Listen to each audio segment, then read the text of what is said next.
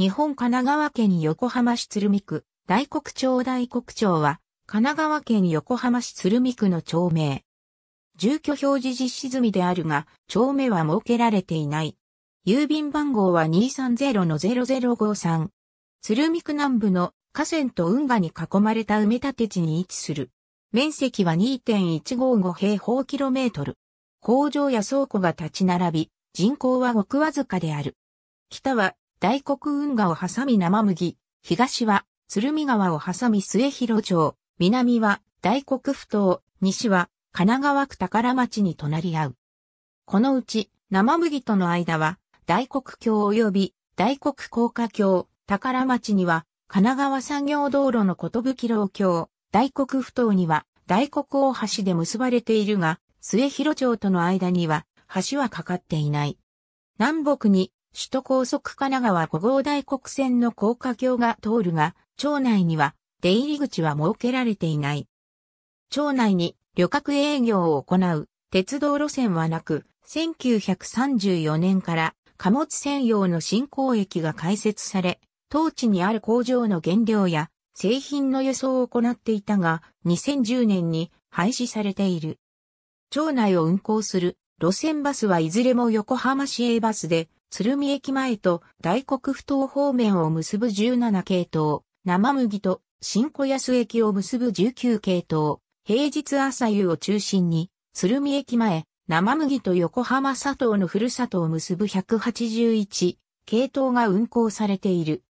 横浜港の発展と工業地帯の拡大を目的として、神奈川県により1928年から生麦地先205万平方メートルの埋め立て事業が着手、1936年に完成を見た。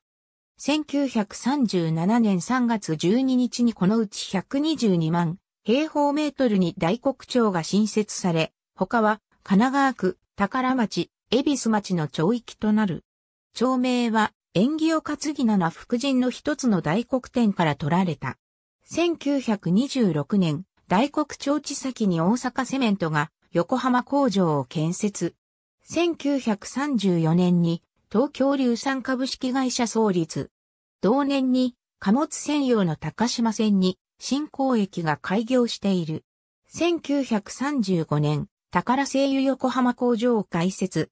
1936年、昭和産業鶴見工場開設。1937年には、辰巳倉庫が営業所を開設した。1939年には、日東化学工業横浜工場と日産自動車鶴見工場、日安鶴見工場が進出したが、第二次世界大戦中の1945年には、各工場は空襲で甚大な被害を受けた。戦後も工場用地の需要は旺盛で、1947年には大黒倉庫、1950年には丸善石油横浜輸送所、1952年にはアジア石油横浜工場が進出。横浜市は1955年より大黒町地先の埋め立てに着手。1958年からは太陽漁業の母船基地用地の埋め立てが追加され、すべて完成したのは1961年である。埋め立てには春節度や残土のほか、京浜工業地帯で発生したスラグも使われた。新アジア石油、日東化学工業、東京電力横浜火力発電所、太陽漁業が進出した。同年には大黒町北部に横浜市中央卸売市場食肉市場も開場した。